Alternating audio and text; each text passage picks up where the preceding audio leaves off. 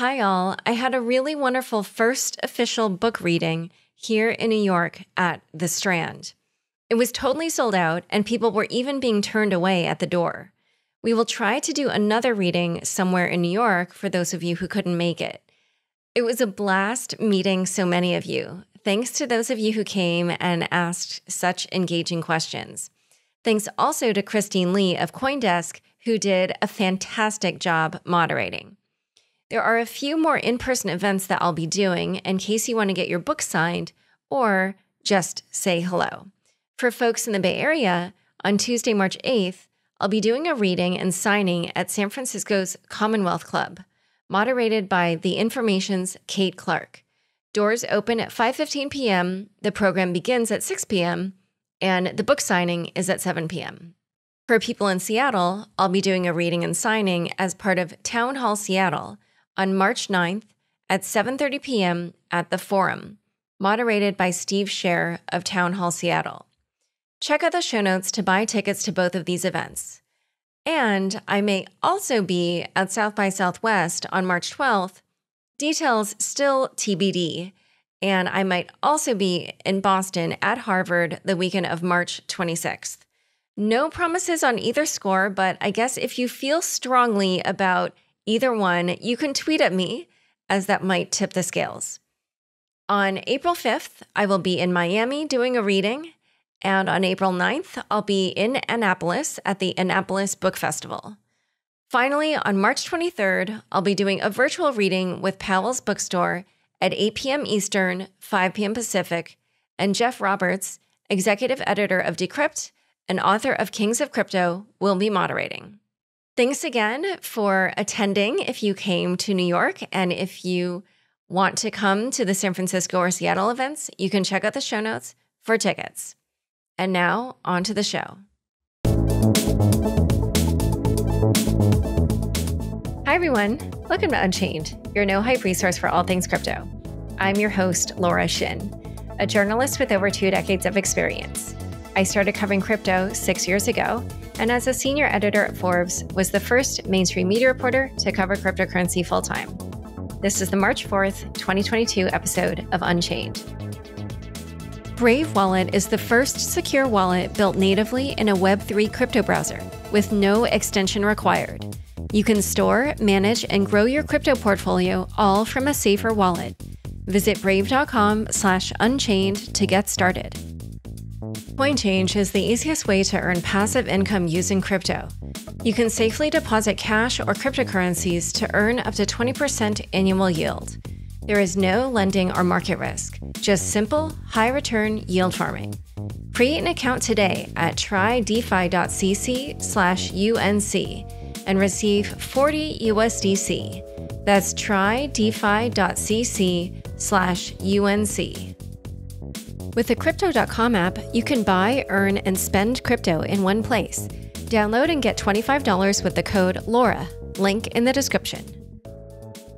Today's guest is Tomicah Tillemann, Chief Policy Officer at Katie Haun's new firm. Welcome, Tamika. Pleasure to be with you. Thank you, Laura. When I was casting about for someone who could speak to the crisis in Russia and Ukraine with what has turned out to be a surprising crypto angle, I realized you would be perfect because of your extensive experience both in government and with blockchain technology. For listeners who are unfamiliar with you, can you please give a brief description of your background so people can understand how your perspective is deeply informed by both subject areas? Well, I went to work in Washington now many years ago for a little known Delaware senator named Joe Biden. And uh, at the time, he was uh, the ranking member on the Senate Foreign Relations Committee. Uh, and I covered a large swath of the world for him that included Ukraine. Uh, and spent a, a, great deal of time engaging with uh, Ukrainian officials in that capacity.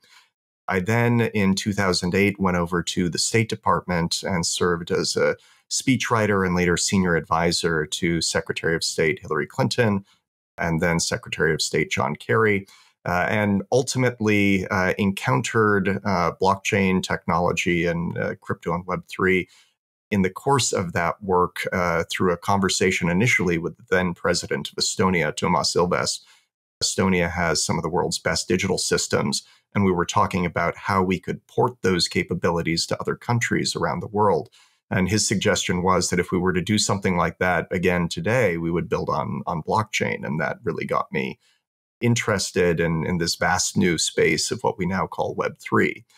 I left the State Department a few years later, inspired in, in large part by what I had found in the ecosystem, went to work at an organization called New America that operates at the intersection of innovation and policy and collaborated with governments around the world and across the United States in building out an array of open source and decentralized systems to serve the needs of uh, their citizens more effectively.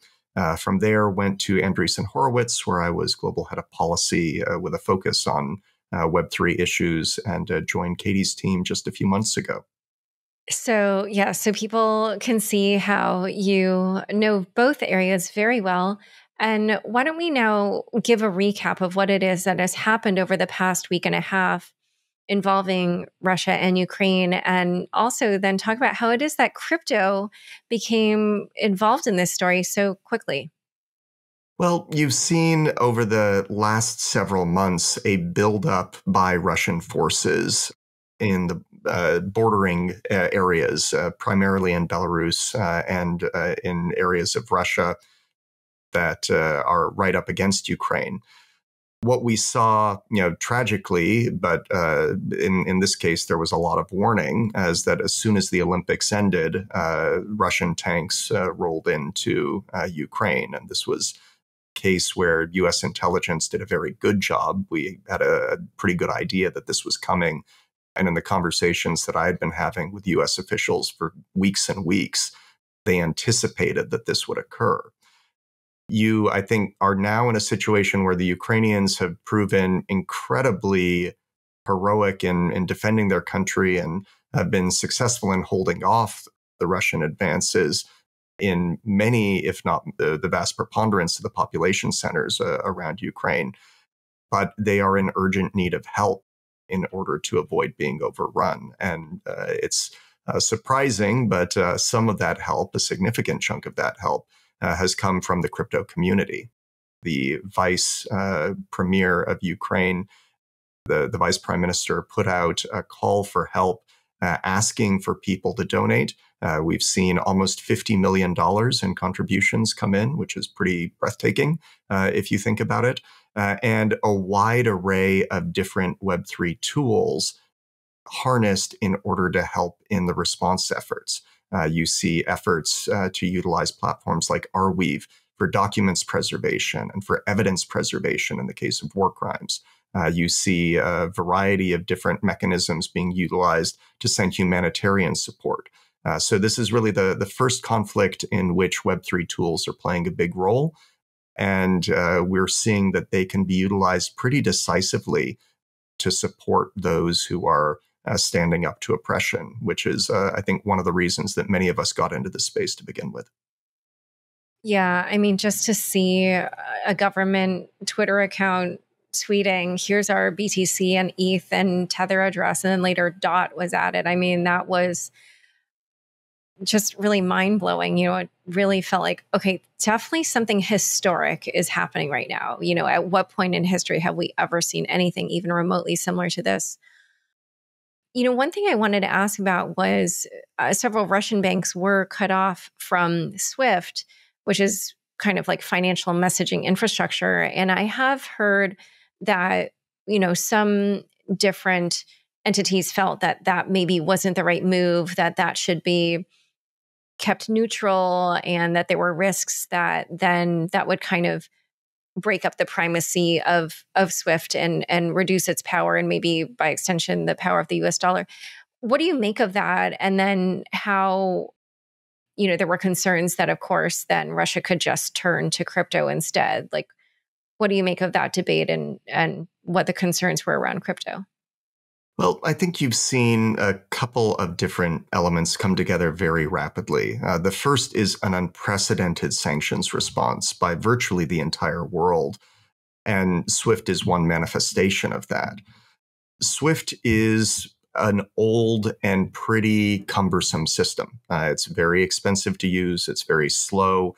Uh, it's not a great way to send resources uh, between banks, but it is uh, the only system uh, that most banks rely on to do that on a cross-border basis.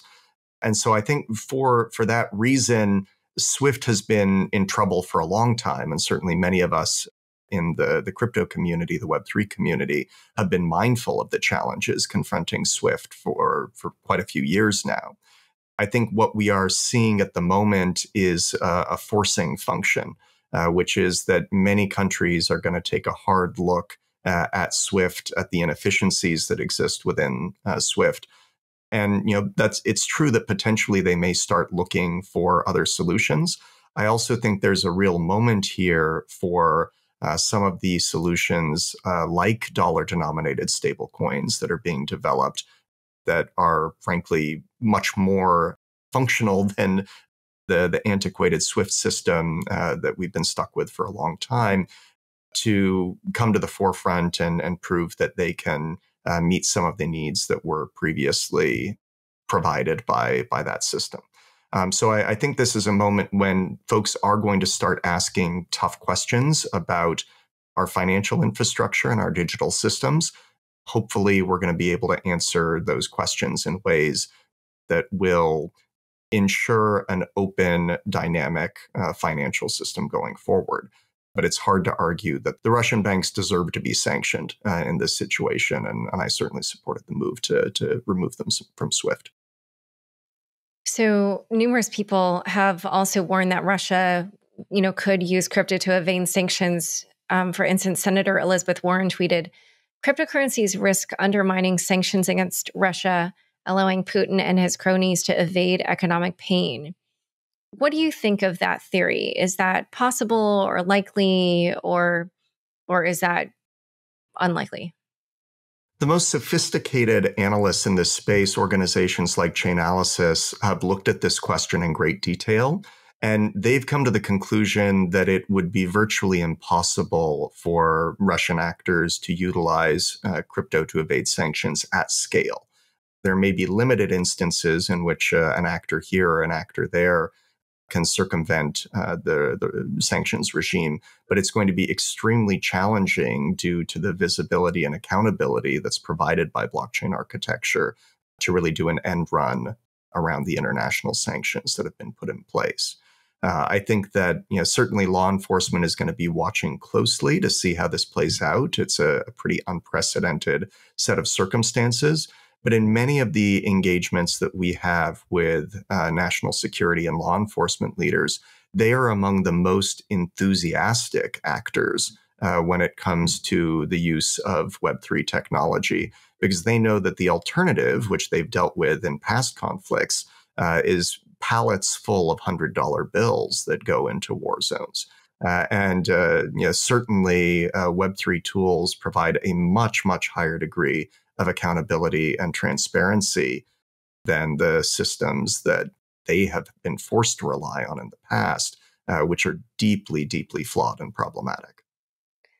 Yes, certainly. If I were in their shoes, I probably would prefer using blockchain technology over pallets of cash if I were trying to, tra- to trace um, transactions. All right, so in a moment, we're going to talk a little bit more about some of the other crypto turns with this story. But first, a quick word from the sponsors who make this show possible. Web3 means freedom from big tech and Wall Street, with more control and better privacy. But your crypto wallet is a weak point. Most wallets are browser extensions, a Web2 technology. That means the same old risks app spoofing, phishing scams, and theft. Brave Wallet is different. Brave Wallet is the first secure wallet built natively in a Web3 crypto browser with no extension required. With Brave Wallet, you can buy, store, send, and swap assets, manage your portfolio, and NFTs. You can see real time CoinGecko data built right into your dashboard and connect other wallets and other Web3 dApps all from the security of one of the most popular privacy browsers on the market. Whether you're new to crypto or a seasoned pro, it's time to ditch those risky extensions and switch to Brave Wallet. Get started at brave.com/unchained. Join over 10 million people using crypto.com. the easiest place to buy, earn, and spend over 150 cryptocurrencies. Spend your crypto anywhere using the Crypto.com Visa card. Get up to 8% cash back instantly, plus 100% rebates for your Netflix, Spotify, and Amazon Prime subscriptions. Download the Crypto.com app now and get $25 with the code LAURA. Link in the description. Back to my conversation with Tomicah. So, one thing that has been reported is that trading volume pairs in crypto with the ruble have increased in volume. On Tuesday, the block reported that they are up over three times their normal volume. So, what do you think is going on? You know, probably, I guess, on the ground level for Russian people? Well, the, the Russian people are facing an unprecedented crisis. Uh, there's no major economy in the world that has ever been unplugged uh, from global markets in the way that Russia has over the, the last few days. Uh, and um, you know, certainly there are many uh, Russian people who are not supportive uh, of the war, and it's important to acknowledge that. But there is a broad recognition on the part of the international community that changing the behavior uh, of Vladimir Putin and his regime will require imposing some pretty extraordinary and unprecedented penalties on the Russian economy. And so uh, I think you see a lot of uh, Russians looking to decouple from the ruble uh, in any way that they can because the value of the ruble is plummeted. And in many instances, what we're hearing is that the utility of the usual uh, mechanisms that people would take advantage of to make purchases in, in Russia is also crumbling. Uh, many of the, the payment systems that they traditionally rely on just aren't functioning. And so, in against that backdrop, it's not surprising that you're going to see uh, folks trying to utilize decentralized architecture to, uh, you know, keep uh, keep their families fed and uh, ensure that they're able to survive what is going to be a difficult time. So, similarly, did see that the Ukrainian government and the vice prime minister, who you mentioned before, I, am not sure how to pronounce his name, Mik- Mikhail Fedorov, Fedorov. Yes. Called on crypto exchanges to freeze the accounts of Russian and Belarusian users. But the exchanges responded that they would only impose sanctions on individuals to whom, you know, was legally required to do so. So why do you think these Ukrainian ministers or the Ukrainian government were requesting this? And then what did you make of the exchange's response? Well, certainly, uh, Ukraine's best hope right now is to uh, impose the strongest possible penalties on Russia uh, in order to uh, ultimately, most international policy and international diplomacy comes down to a, a very simple equation. You know, are the the costs of pursuing a course of action for a leader greater than the benefits of that course of action. And you know, previously, Vladimir Putin had made a determination that the costs of going into uh, Ukraine were going to be outweighed by the benefits that he was hoping to uh, accrue from that. The Ukrainians are trying to change the equation, and they're using any possible tool that they can to to do it. And you have to recognize the the pressure that they are under in this uh, extraordinary moment to do that. I think you are seeing a couple of things as this plays out. The fact that folks are moving assets out of rubles puts further pressure on the Russian economy. So that that on its own is actually an additional challenge for the the Kremlin. And then, you know, beyond that, I, I think there are a wide array of potential responses to this, and and you have to be somewhat uh, some they they follow the fact pattern for each specific case. I don't know that you can say categorically that kicking everybody off is the right thing or kicking nobody off is the right thing. Um, there are going to be, I think, a lot of efforts over the the next few days to identify individuals who are subject to the sanctions, make sure that those individuals don't have access to any asset. And sanctions, of course, are not based on the type of asset, they're based on the individual who is sanctioned. Uh, and so that's a, an important uh, clarifying point. Uh, and you know, hopefully, we we get to a place where uh, those that are in urgent humanitarian need are going to be able to access uh, digital assets. Those that are facilitating or participating in the conflict in Ukraine should not be able to, to access their assets, in, in my view, if they're under uh, a sanctions regime. And one other thing I wanted to ask about in terms of donations to the Ukrainian government is that we saw other crypto donations groups such as groups such as Ukraine DAO spring up. And I wondered how that compare, you know, donating to that, how that would compare to sending money to the government's addresses, or just what you make of the fact that a DAO sprang up for this purpose, um, and you know what you thought the significance was of this. Well, there have been a variety of very innovative uses uh, of Web3 technology, including DAOs, some of which have been publicly announced, a number of which have not yet been publicly announced. But they're coordinating uh, response efforts across everything from uh, humanitarian engagement to, in, in some other instances, uh, looking at longer term challenges like the prosecution of war crimes. And so we're, we're seeing an array of different mechanisms uh, come to the fore. Uh, I think that you know with crypto in general, you get a much higher degree of transparency than you're usually accustomed to in humanitarian assistance uh, or support provided in a conflict zone. So uh, you know that money has arrived in the account. You can see when money has left the account. And in the context of a DAO, you have some say in how that money is spent. Um, so there is a, a lot of accountability uh, that comes with the utilization of uh, Web3 architecture that we haven't really had in any past global conflict. And that I think is something that we are still starting to wrap our heads around. But my assumption is it's going to have a very far reaching impact on the way that humanitarian support is provided in complex emergencies going forward uh, donors will be able to know with a high degree of assurance that resources have hit uh, a specific wallet uh, that they're trying to target.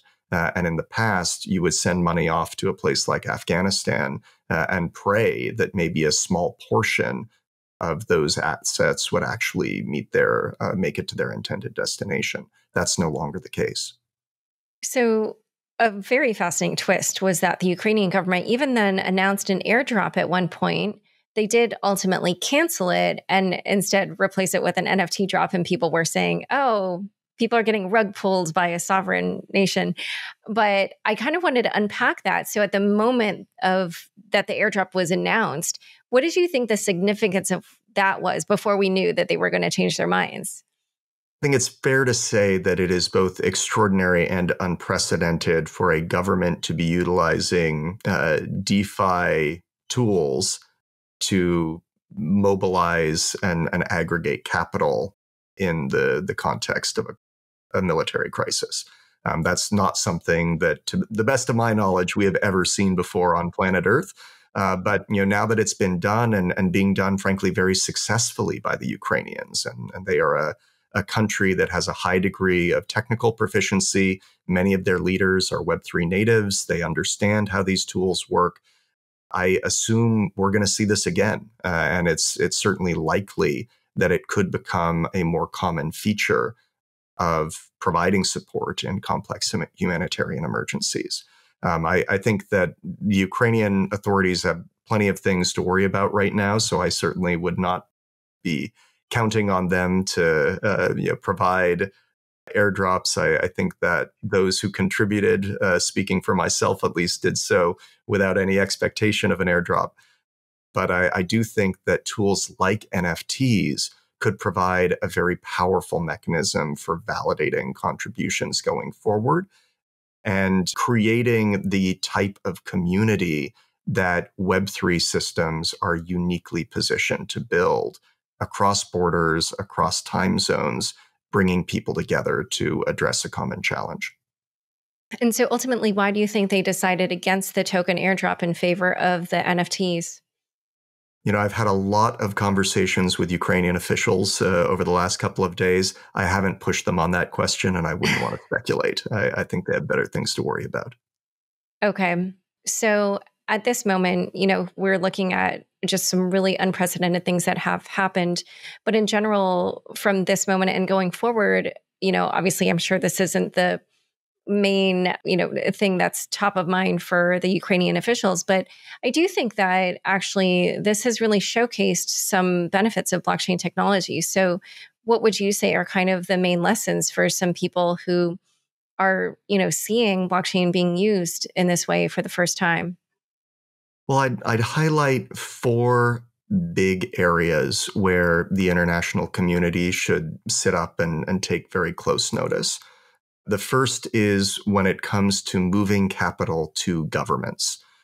The United Nations has estimated in the past that in complex environments, you lose roughly 30% of every dollar that's deployed due to malfeasance and corruption. Uh, it takes another 15% approximately of every dollar to do auditing, monitoring, and evaluation. So before you have done any good at all, before you've helped a single person, bought a single blanket, uh, you've lost 45 cents on every dollar that's deployed using traditional legacy systems. We need to be able to do a lot better than that. And so using Web3 architecture to move capital into complex humanitarian emergencies is the way of the future. This is how it's going to go. And I think governments are going to recognize that. Second piece is we can get resources to individuals in need in a way that we have never been able to previously. One of the reasons that Ukrainians are proving so adept in using Web3 tools now is that when they ousted their, their past leader, who was uh, beholden to Moscow and, and somebody who was engaged in extensive corruption, you'll remember that many of the Ukrainians on the Maidan uh, would hold up Bitcoin addresses on signs uh, so that uh, people watching from the outside could target resources to them directly because they needed band aids, they needed medical supplies, they needed food, and you could send that help precisely where it was needed to the individual. Uh, so that's a, another huge advantage. The third thing I would highlight is the importance of decentralized systems in safeguarding information. When a military rolls in, they're going to do two things. One is destroy physical records, and the other, and we know that there were attempts to uh, do this using the uh, a bug called Wiper, is to erase digital records the advent of Web3 platforms like Arweave will provide new frameworks for safeguarding information uh, in the face of military attacks. And, and that's very consequential and important uh, if you want to be able to rebuild quickly and effectively. You need to know that your land registries are protected. You need to know that your vital records uh, have been, been preserved. Uh, and Web3 tools can help do that. And the last piece that I would mention, and I, I alluded to this earlier, is that we need to be using Web3 systems to preserve evidence of war crimes and atrocities. Unfortunately, there are war crimes being committed in Ukraine, and it has been very challenging in past conflicts to ensure that you have a clear chain of evidence regarding the validation uh, of those crimes. Uh, and, and we can now use Web3 tools to have a much higher degree of confidence in the information that's coming out of war zones and ensure that it's protected against future uh, deletion by bad actors. I it just almost had chills in some ways uh, listening to you because I do feel these are just such uh, kind of new capabilities and they'll really change the nature of these kinds of altercations. And so hopefully I would imagine that could have a positive effect. And I would hope that they would. One quick point on this, if I can, Laura. Right now, everyone is justifiably and correctly focused on bringing an end to the conflict and uh, ensuring the removal of Russian troops from Ukraine. We also need to start thinking about the rebuilding process to come. And I remember having a conversation uh, with the individual who was prime minister of Haiti when the earthquake hit in that country many years ago. And he told me that the first building to collapse was the building that stored all of the vital records for the country. What that meant is that when it came time to rebuild, they couldn't do it because they did not know who owned the land that they were going to be building on. And it has been devastating now for a generation of Haitians to be able to get their lives back on track simply because there weren't good record keeping mechanisms in place. Web3 systems should solve for that in Ukraine. So, in addition to seeing uh, a Web3 enabled response to the conflict, my hope is that we're going to see a Web3 enabled recovery in the aftermath. Uh, and that should enable people uh, to get back to their lives much more rapidly than would have been possible otherwise. That's, such a great story. I actually was there when you heard that story because this was on Necker Island. With Laurent Lamont. You were there. I remember. Yeah, yeah, exactly. Yes. I was, I could picture his face. And I just couldn't remember his name, but thank you. Yes. Um, and yeah, that was such a powerful story. I, I do agree that, yeah, the, I mean, hopefully we, we will see blockchain technology being used in this way and people will, un- will understand the power of it. This has been such a fascinating conversation. I so appreciate that you came on Chain to explain all this. You know, would love to hear more uh, when there is more news. But for now, thank you so much for coming on Unchained. Thank you, and thanks to all those who are helping to respond to this crisis using the tools and community that we've built over the last few years together. Don't forget, next up is the weekly news recap. Stick around for This Week in Crypto after this short break. It's time to bring Wall Street to Main Street. CoinChange is democratizing access to wealth management with low risk, high return, passive income through DeFi. It's simple just deposit your crypto into a CoinChange high yield account to earn more over time. Your yield is paid out daily and can be withdrawn anytime. CoinChange's yield farming doesn't utilize lending or other risky strategies. No minimums, no obligations, just high yield. It's time for a change. Create an account today at trydefi.cc/unc to receive 40 USDC. That's trydefi.cc/unc.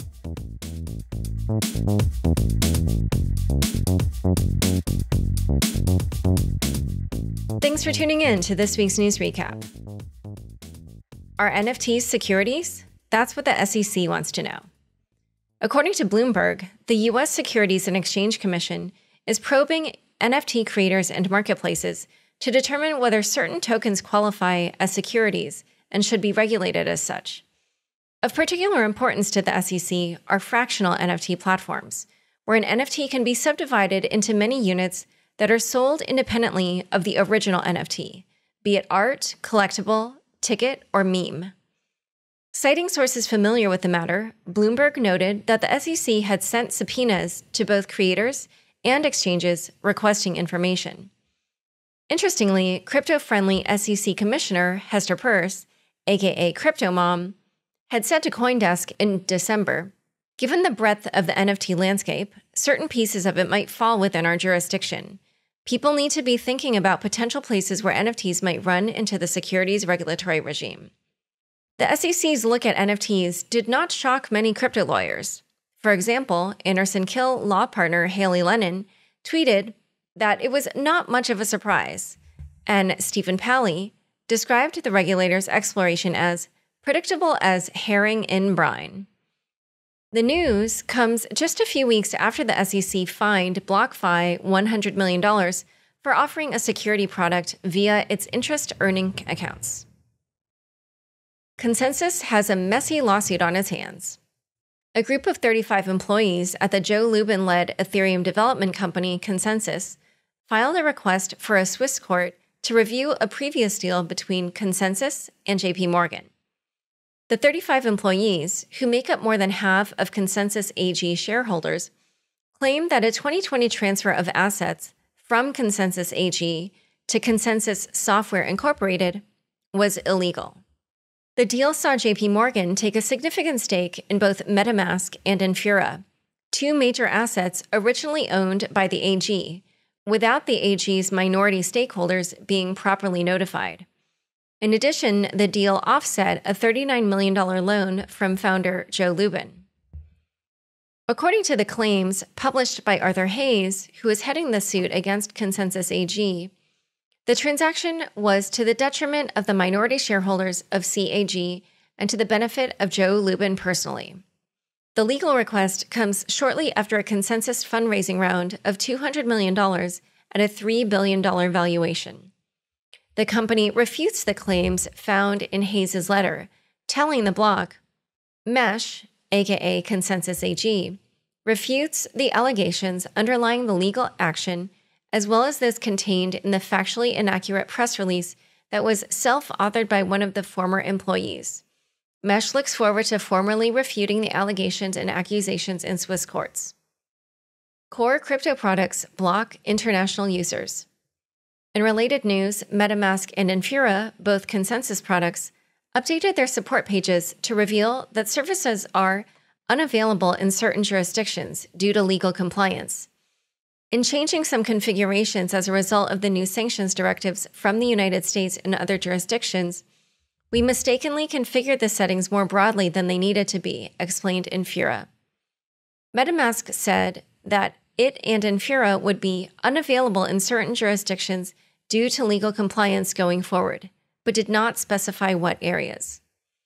Iranian users of the NFT marketplace OpenSea are also claiming that they have lost access to their accounts, with multiple verified collections allegedly being removed from the platform. The IRS won't take no for an answer. The U.S. Internal Revenue Service filed to dismiss a lawsuit by Joshua and Jessica Jarrett, a married couple who claims they should not have paid income tax on staking rewards. While the IRS offered the Jarretts a refund in December, the couple refused in an effort to force a federal court to decide how staking income is taxed in the U.S. However, this week, the IRS filed a motion to dismiss the case, arguing that the Jarretts could not refuse its offer of a refund.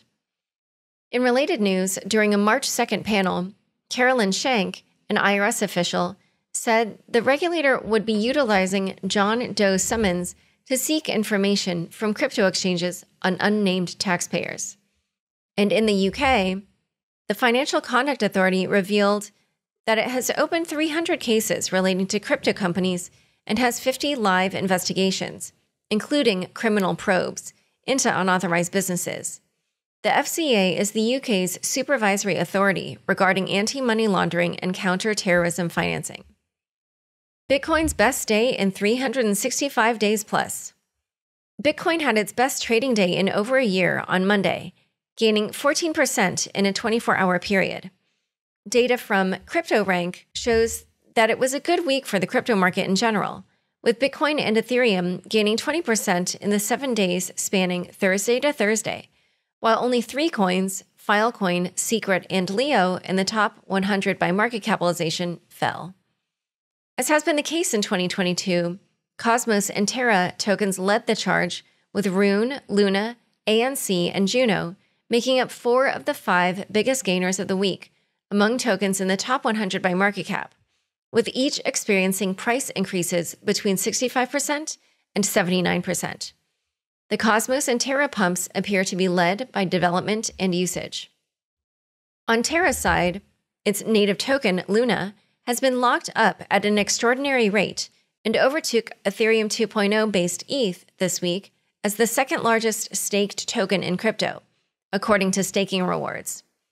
Data from SmartStake shows that Terra has burned $2.48 billion worth of Luna since February 4th, a month ago. And as covered on last week's podcast, Luna Foundation Guard, a nonprofit supporting the stablecoin UST on Terra, bought $1 billion worth of BTC, with Luna locked into a four year vesting schedule to backstop UST. Interestingly, it appears that LFG plans to purchase more, with Terra CEO Do Kwon tweeting, The Terra protocol will be one of the largest holders of BTC. On Cosmos' side, the much anticipated Evmos launch and airdrop took place this week marking the arrival of the first EVM compatible hub on Cosmos. Citadel Security CEO does an about face on crypto. Kenneth Griffin, founder of Citadel Securities and infamous winner of the U.S. Constitution bidding war, told Bloomberg this week that his once negative sentiment regarding crypto has since shifted. He called crypto one of the great stories in finance over the course of the last 15 years. He added, and I'll be clear, I've been in the naysayer camp over that period of time. But the crypto market today has a market capitalization of about $2 trillion in round numbers, which tells you that I haven't been right on this call. According to Griffin, Citadel Securities, which handles 25% of equities volume traded on the US stock market each day and executes 35% of US listed retail volume, will most likely get into the crypto market making game soon, despite saying in October that the company would not, due to regulatory uncertainty. To the extent that we're trying to help institutions and investors solve their portfolio allocation problems, we have to give serious consideration to being a market maker in crypto, Griffin explained. It's fair to assume that over the months to come, you will see us engage in making markets in cryptocurrencies. The news comes almost two months after Citadel Securities made headlines by taking $1.15 billion in capital from two venture firms, Sequoia and Paradigm, a crypto centric company that has backed Compound, Cosmos, Sky Mavis, and Uniswap. This week in crypto adoption. In a week filled with headlines about Ukraine, Russia, Swift, the EU, and more, it was easy to miss a slew of major companies adopting crypto in one way or another. Here are three examples. KPMG purchased two NFTs this week. The Canadian arm of the major accounting firm bought Woman 2681 for 25 ETH or $75,000 from the World of Women NFT collection. It also minted kpmgca.eth, an ENS domain. Charles Schwab filed with the SEC to create a crypto economy ETF that would give investors exposure to companies developing and utilizing cryptocurrencies. Rakuten Group launched an NFT marketplace last Friday that will allow users to purchase sports and entertainment digital collectibles along with IP minting capability. Time for fun bits. Kevin, the meme green pixelated money printing machine. Pixelmon, a blockchain gaming project, released a collection of 9,999 NFTs last week, generating $70 million in sales during a mint that saw collectors pay up to 3 ETH per NFT. The mint sold out quickly. However, collectors were immediately disappointed with the quality of the art, which was later described by Pixelmon's CEO as unacceptable. The NFTs grant holders exclusive access to Pixelmon based land and token airdrops, boost in game earning potential, and grant access to the alpha release, among other things. However, the price floor for them has already dropped to 0.299 ETH on Wednesday night, meaning that some Minters NFTs are worth one tenth what they paid just a week ago. However, as this is crypto, one particular Pixelmon NFT, a species called Kevin, caught fire on social media and saw the floor price skyrocket due to its ugliness. At one point, Kevin NFTs were selling for over $20,000. Kevin NFTs spawned an entire meme culture on Twitter, with the green, Bowser like 3D character taking over crypto Twitter and even receiving its own song from Song a Day Man, aka Jonathan Mann. Kevin became so popular that a derivative project called Kevin Punks was minted and instantly became a hit with 549 ETH in volume after just a few days of trading and a price floor of 0.88 ETH. Unchained tracked down a Kevin investor via OpenSea and asked them essentially why they would spend 8.6 ETH on a meme. John Bisu, co founder of Seasons.io, seemed to think it was a good fit for his NFT platform and told Unchained that he might donate his Kevin into the trash pile on TrashDAO where users can swap NFTs from qualified contracts in exchange for trash tokens, which govern the deposited NFTs. However, if Kevin continues to grow in value, Bisu might fractionalize the NFT on seasons so that everyone can have a piece of memetic history. Because, as Bisu explained to Unchained, there is a Kevin in all of us. All right, well, thanks for tuning in. To learn more about Tomicah, the crisis in Ukraine, and Katie Haun's new firm, be sure to check out the links in the show notes for this episode. Unchained is produced by me, Laura Shin, with help from Anthony Yoon, Daniel Nuss, Mark Murdoch, Shashank, and CLK Transcription. Thanks for listening.